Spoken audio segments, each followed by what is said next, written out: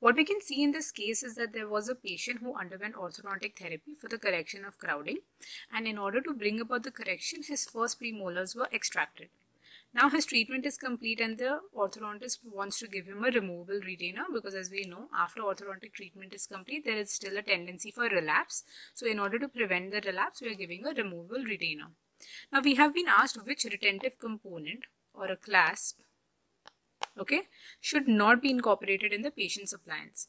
So what is important here to note is that the patient has undergone first premolar extractions. And like I said because uh, there's a tendency for relapse there is tendency for spaces to open up. Okay there is a tendency for the space to open which we do not want. So in order to prevent the space from opening up we should avoid any uh, uh, retentive component which is going to run interproximally.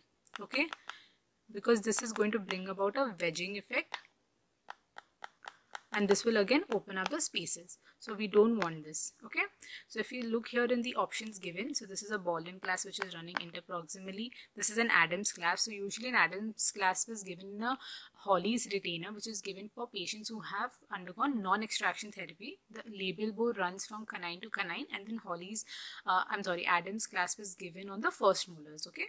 So this again runs interproximally so it should not be given this is a triangular clasp. Now again, triangular clasp and ball end clasp do not have adequate amount of retentive ability as well as much as a Adams clasp has. So this is anyway uh, uh, eliminated and we are left with this. This is the circumferential clasp with a C clasp. It is usually given behind the second molar so that it prevents any opening up of space.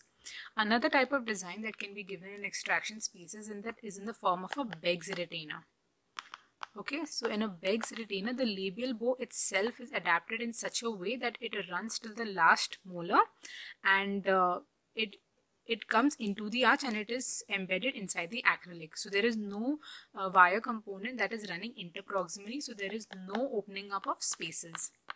Okay so this is indicated in extraction cases now, the other type of questions that they could ask you from this topic is to identify the various retainers.